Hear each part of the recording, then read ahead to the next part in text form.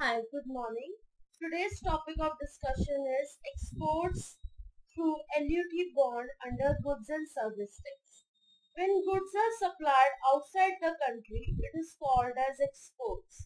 When recording exports in Tally Prime, you can record shipping details in the invoice for tracking. Exports can be of different natures. Here is a list of exports with their respective tax applicability. Number one is taxable exports. In case of taxable exports, integrated tax shall be applicable. In case of exempt exports, no tax will be applicable.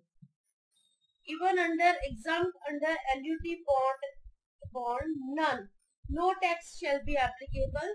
This export is applicable when accompanied by a letter of undertaking from the Department for export of goods without the payment of duty. Deemed exports.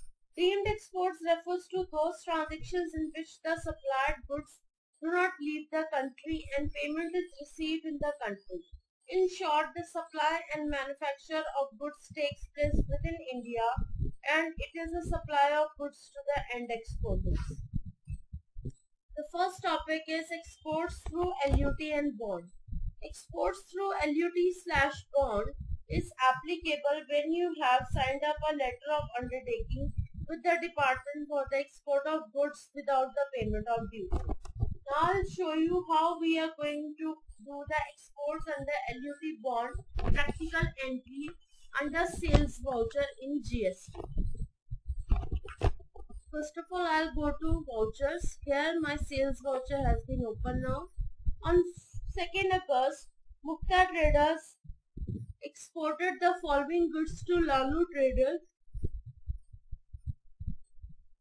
Exported goods to Lalu Traders Singapore under LUT. Now you can see that the Mukta Traders are dealing with Lanu Traders and Lanu Traders belongs to Singapore. So here what we are going to do First of all, we will add reference number 6 slash empty. Then it will be, the date will be 2nd August. 2nd August. Then party account name I'll create over here, Lanu, Lanu Traders under sundry debtor. Here what I am going to do, I need to change the country. I'll change the country to Singapore.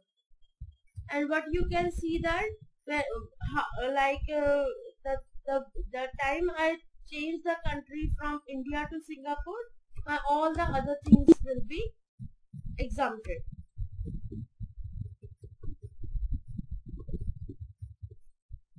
Here I need to create a ledger of sales export. Sales export ledger I will create over here under sales account and here I will alter and uh, set GST details to yes. I am selling HP laser printer. HP laser printer. Uh, HSN code is 0098743321. Alright. Now the nature of transaction I will uh, select over here is sales to SEZ, sorry, exports LUT slash bond. This will be my nature of transaction. I will select it and here I'll select the type of supplier as goods and that's it. Now I'll select here HP laser printer. Quantity is 4 at the rate 6500 and here you can see that 26,000 has come and now I'll calculate over here integrated tax at the rate 18 percent.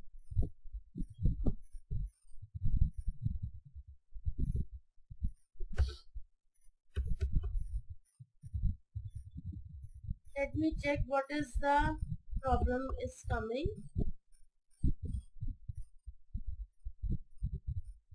Here I need to keep the taxability exempt.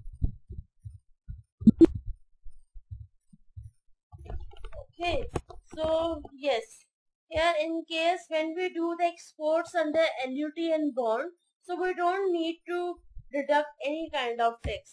So here what I am going to do, I am going to do it end of list. Okay, so this way my entry has been completely done. Alright. Now the next question is exports taxable.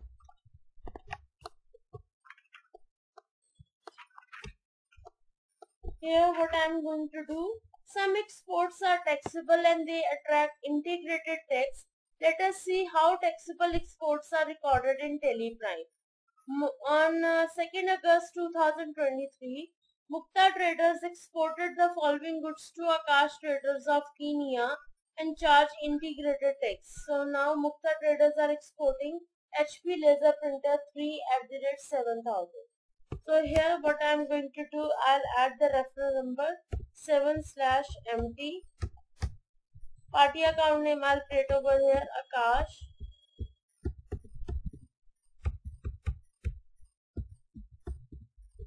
Traders under sundry debtor. Here I'll select the country as Kenya.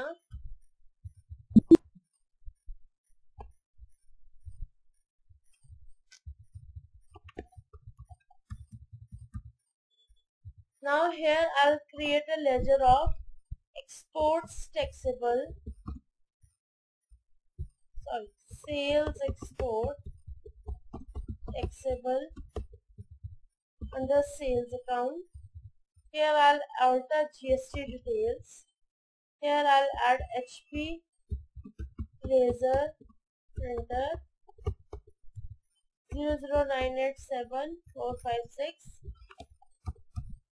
Taxability, I'll keep it here taxable at the rate 18% and type of supply will be goods and that's it. Here I'll select HP laser printer, quantity is 3 at the rate 7000. Now I'll calculate integrated tax, it will come out to be 3780 and the integrated tax is right, correct alright so this way my entry is done. Alright now the next topic is exempted goods. Exempted goods are the goods which are not subjected to tax. The local or interstate purchase of goods exempted from GST can be recorded in any time. On 1st August 2023, Mukta Traders purchased the following exempted goods from Indra Traders Bengaluru with supply invoice number PUR slash 7. Here I'll open my purchase voucher over here. The supplier invoice number will be PUR PUR slash 7.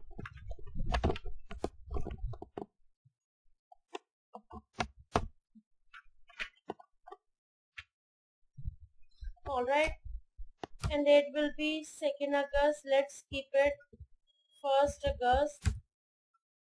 1st August. Party account name I'll trade over here. Indra Traders. Under sundry creditor here they are from Bengaluru. So I'll add the GST number. The GST number is 29 double M triple M one two three four B one Z nine Z six.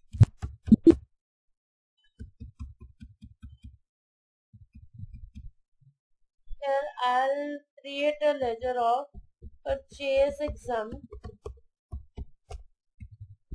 under purchase account and here I need to alter GST details.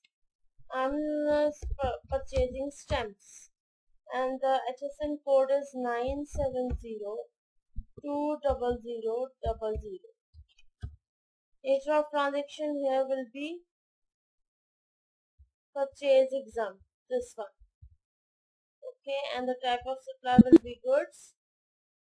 Here I will create a stock item of stamps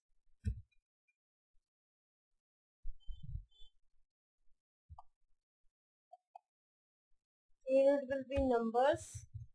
And here I also alter the GST details. For stock item here I'll add stamps 970 Taxability will be exempt. And here I'll add 100 at the rate 250 will come up to the 25,000. So this way no tax shall be deducted. Alright.